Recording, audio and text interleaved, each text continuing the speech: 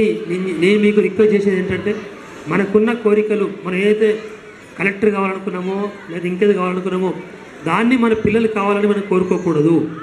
అది పిల్లలు వాళ్ళ జీవితం. వాళ్ళని వాళ్ళలాగా బతకనివ్వండి. సో వాడు ఎలా కావాలి అనేది వాడే డిసైడ్ చేసుకోవాలి.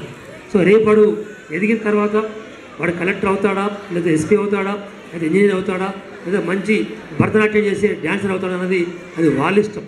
సో మన జీ వాళ్ళ జీవితాన్ని మనం మన కోరికలతో వారిని ముడిపెట్టి వారి మీద టెన్షన్స్ స్ట్రెస్ బిల్డప్ చేసే కోరికలు ఎవరు చేయదని చెప్పి నేను మనస్ఫూర్తి కోరుతా ఉన్నాను సో మనం ఆ పిల్లలకి ఒక ఫెసిలిటేటర్ లాగా ఉండాలి.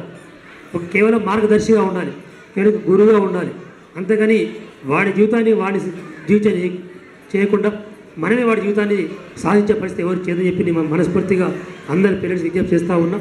సో మీ అందరికీ కూడా మీకు మీ పిల్లలందరూ కూడా మంచి భవిష్యత్తు ఈ స్కూల్ ద్వారా వస్తుందని చెప్పి మనస్ఫూర్తిగా ఆకాంక్షిస్తూ సో మరి నన్ను ఈ పాఠశాల వార్షికోత్సవానికి ముఖ్య అతిథిగా పిలిచి ఇంత మంచి కార్యక్రమం నన్ను వారు భాగస్వామ్యం చేశారు.